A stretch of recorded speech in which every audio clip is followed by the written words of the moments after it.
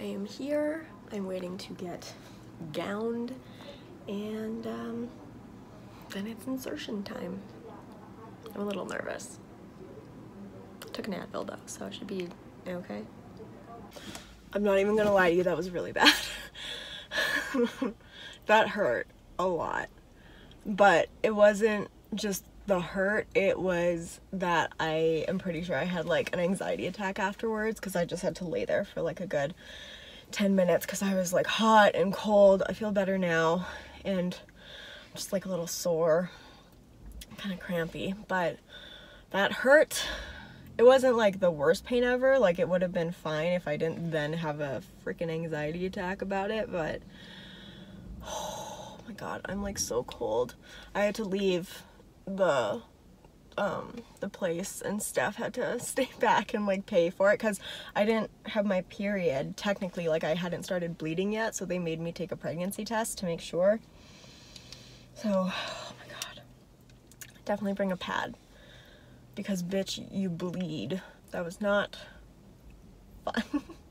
I don't mean to like discourage anybody from doing this or like make you more nervous about it but like I would have definitely taken an Ativan. I would have taken two Advils instead of one. And I would definitely get somebody to come with you. That's like comforting to you because it was nice when Steph like came in the room with me and just sat with me there for a second after it was all done because I was just like laying on the bed like, oh my god, kill me. I'm sure literally 20 minutes from now once I'm home and I have lunch and my hair isn't so goddamn sweaty, I will be fine, but that hurt. Also, process of it. They um, put in a speculum and open it up, and then they just do like a check of your cervix. They sterilized my cervix with this like cool gel, which was fine. And then they measure your cervix, which hurts a little bit. That's like a lot of pressure. But that took like 10 seconds. And then they put in the IUD, which takes about 30 seconds. So it's not a long process. Honestly, I was in the room longer because I was anxious than I was being like inserted with my ID, so I'm just watching for Steph. But that hurt. And right after I had like this really intense urge to cry. And I just told the doctor, like, I feel really hot. And she's like, this is totally normal. A lot of people feel like this after. Just stay here. We'll keep checking on you. They brought me some water. And it's been about 15 minutes now and I feel I feel better. Yeah, I think a lot of that was just anxiety because like right as she was doing it, I was like, don't cry. And then she like left the room and I was like, oh, feel that feel where you just want to like lay down in bed in like a little ball well, when I came in and like looked at you, I'm like, no, you're. I can tell you're just yeah anxiety. A lot of that was anxiety. Like it hurt. It definitely hurt. But if I had taken an Ativan or something and I didn't have any anxiety, it would have been like painful and annoying, but like fine.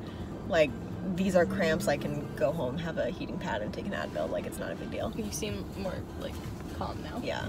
I definitely feel like still ow, a lot of ow, but better. The next day. Literally right after that last clip in the car, I was sitting there and I was like, this hurts, I hate it, I regret it, and like, uh, uh I feel great. Like I feel 100%. I don't feel any pain, I'm not cramping, and it's been, what time is it right now?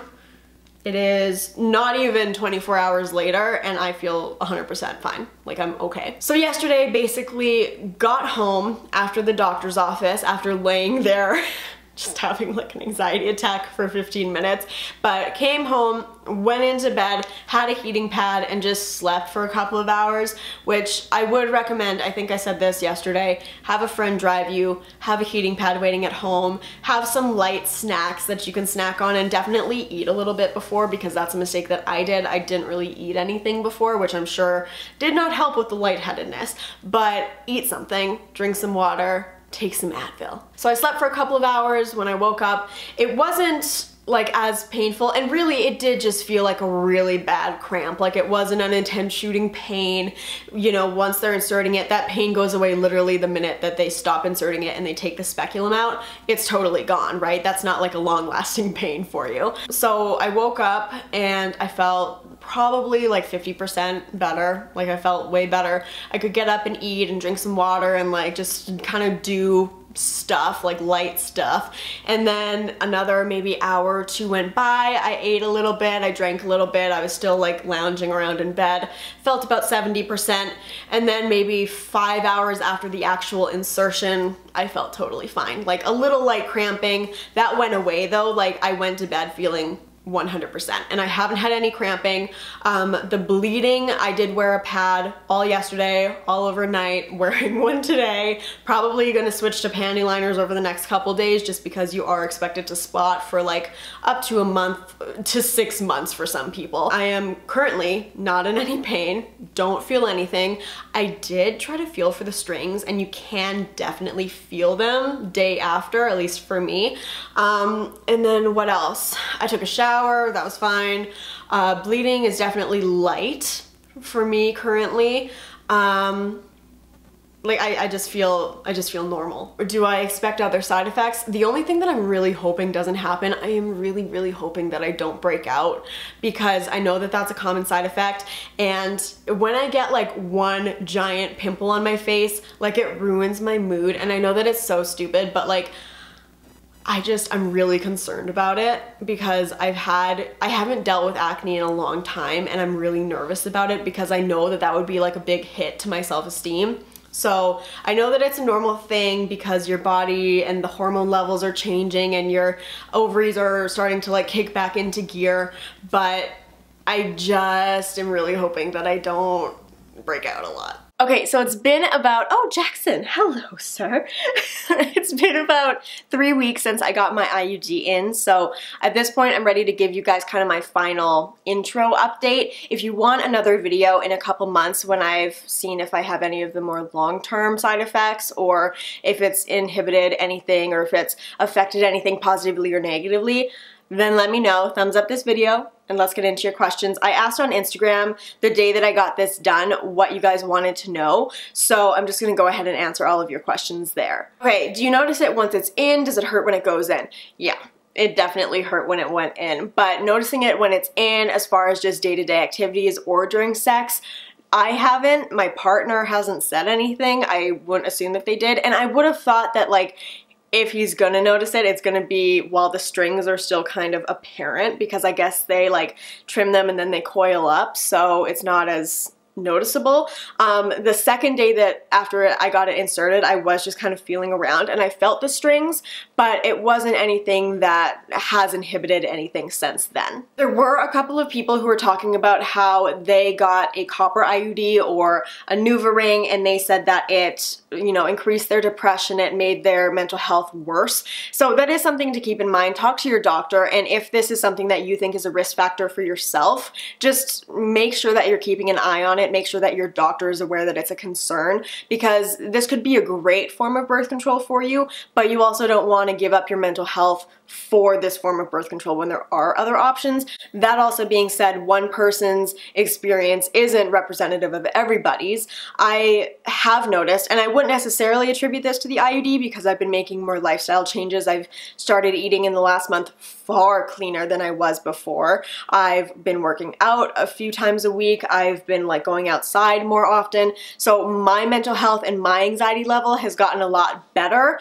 Um, again, wouldn't necessarily attribute that to the IUD. And who knows, maybe it is, you know, that's something that hopefully we'll be able to answer if you guys want an update video on the IUD in a couple months. Do you still have your period regularly after the insertion? So like I said, I got mine done about three weeks ago. So my period, if it does come, is supposed to come next week. Um, I don't know. I will again update you guys on that and I think that this would be better for the longer term update because then I can let you know if it's regular every month. And that is really my only concern with the IUD is that I won't know when my period is coming because I'm not like stopping a pill and then I know it's gonna come two days after I stop the pill. So I've just started carrying around pads, tampons, panty liners in my purse constantly. Oh, did you get the hormonal or the copper one? I got the uh, Mirena, which is one of the higher level hormone ones. I was nervous to do the copper one because I've heard a lot that it made people's periods worse, the cramping, and it made their flow heavier. And also my doctor recommended the Mirena over everything else. So that is the one that I went with. Ooh, a pro cons list, IUD compared to the pill. I don't have to take the pill, which is a huge pro because to be honest, I was really irresponsible with it, which didn't matter so much to me when I wasn't in a relationship and I wasn't like consistently sexually active.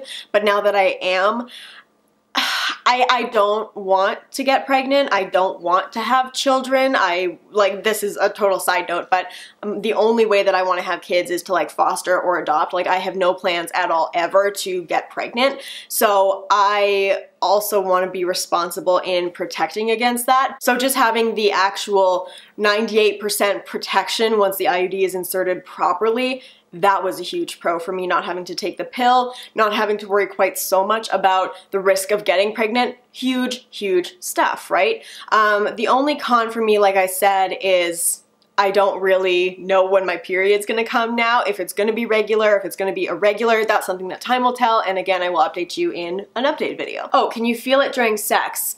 I haven't been able to feel it during masturbation, and my partner hasn't said anything about feeling it during sex either. A lot of people are talking about how they got an IUD and they absolutely love it, so I'm glad that you guys enjoy it too. And I will say, like, my friends got it, Bronwyn had it, Steph had it, and like, they love it. And Steph had a harder time with it. She wants to do a video on this on her channel as well. I'll link her down below. How much did it hurt when it was put in? My friend puked because it hurt so bad.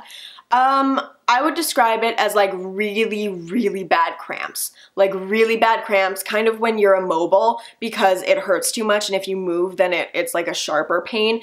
But again, it lasted, I think I said this in the like right after portion, the pain of the measuring of the cervix took 30 seconds and then the insertion took 45 seconds to a minute and my doctor was really good in keeping me updated on how long I had left in that you know the process was almost over in that you know the pressure is going to be gone you won't feel this level of pain and afterwards it was just cramping that heating pad and honestly just like sleeping it off really helped with. One thing that I will say is I've had some friends who get this done and then they go back to work.